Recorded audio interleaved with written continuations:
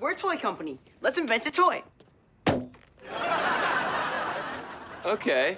I don't know how I came up with this, but how about a plunger you stick on dudes' faces? Oh, preciosa photo. 1995.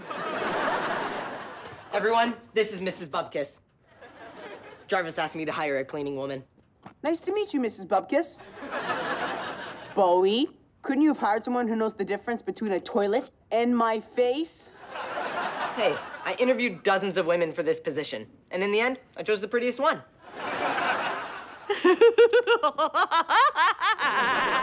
Preciosa photo. Tazo. Uh, porcelain veneers.